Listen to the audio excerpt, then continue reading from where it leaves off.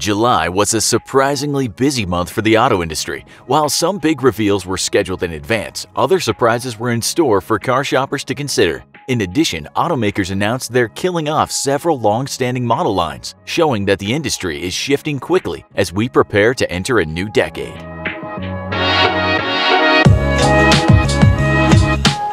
Ford put on quite the show this month by inviting journalists to witness a prototype F-150 electric pulling numerous train cars. Inside those cars were more trucks with the total weight exceeding 1 million pounds. While an obvious PR stunt, it got people talking about the upcoming electric pickup truck.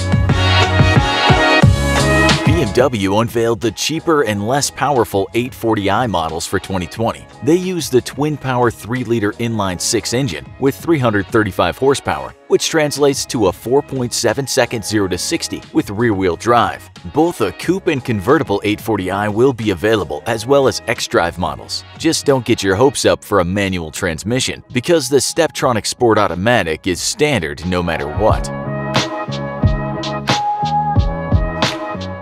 Leave it to Hennessey Performance to make yet another crazy truck. While it already has the Velociraptor 6x6, GM fans wouldn't be caught dead driving that. So it created the Goliath 6x6 using the Chevy Silverado.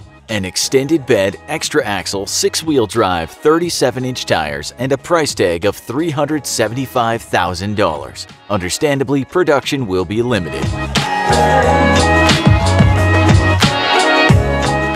With the German automaker preparing to give people what they want, Volkswagen will stop offering its slow-selling wagons like the Golf Sportwagen and Alltrack. It's a sad but understandable move that will clear the way for the Atlas Cross Sport later this year, the ID Buzz in early 2020, and an unannounced third subcompact crossover by 2021.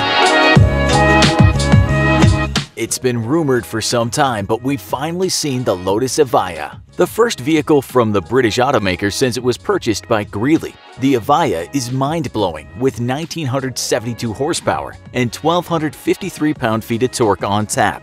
The design includes a carbon fiber chassis, an F1-style drag reduction system, and an active rear spoiler. At a time when cars are looking far too similar, the Evija is a breath of fresh air. It was with an eerie silence that the Porsche Taycan prototype sped through the course at the Goodwood Festival of Speed in England. Mark Webber piloted the electric car with ferocity, while the crowd was also quite silent. This moment gave us a good look at what Porsche plans to use in response to Tesla's onslaught, and so far, it's impressive.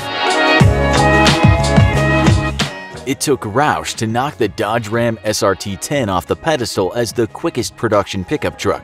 The Nightmare F-150 charged from 0 to 60 in 3.9 seconds, but there's a problem. Not everyone is agreeing that this Roush is a production vehicle, considering it's really a modified Ford F-150. Still, Roush isn't backing down to its claim of the title, and everyone has an opinion about that.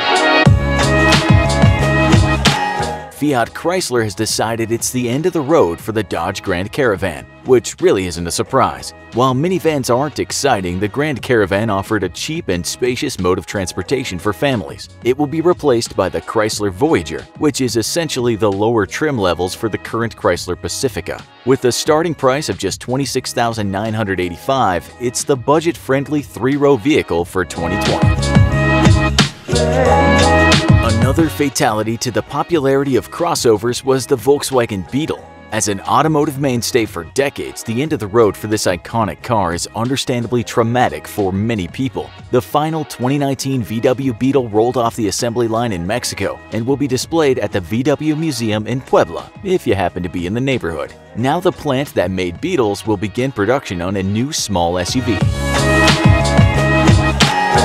The whole world already knew the C8 Corvette was going to be a mid-engine layout, but that didn't stop the excitement surrounding the big reveal on July 18th. With 495 horsepower for the base model and a dramatic design, people will be buzzing about America's sports car for some time, making it the top automotive news story for July of 2019. Thanks for watching. Click subscribe for more Insider Car News videos.